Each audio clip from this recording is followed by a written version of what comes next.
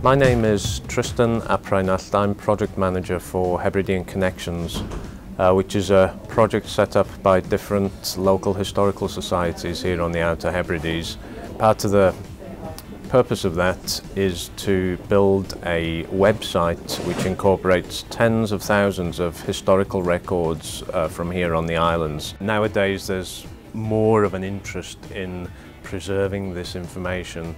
or at least in making it available as a digital archive that can then be accessed all over the world and obviously that's where the internet comes in. The historical societies uh, that we deal with they're manned uh, largely by volunteers who are people really ordinary members of the community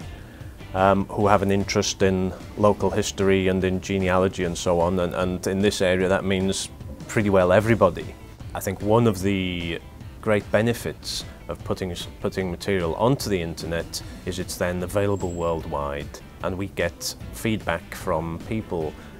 um, you know, abroad in Canada, in North America, who have seen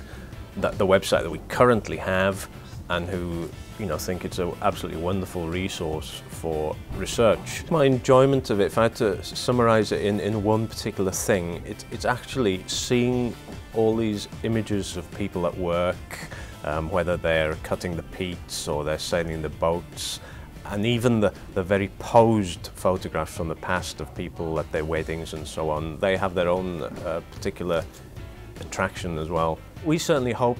um, that our existing relationship with Living It Up can be extended into the future, that we can help to participate in uh, joint events throughout the islands um, and that we can together help to encourage people in the community to come forward to um, develop their use and knowledge of information technology, but also to make them feel uh, valued members of the community for whatever contribution that they're able to make.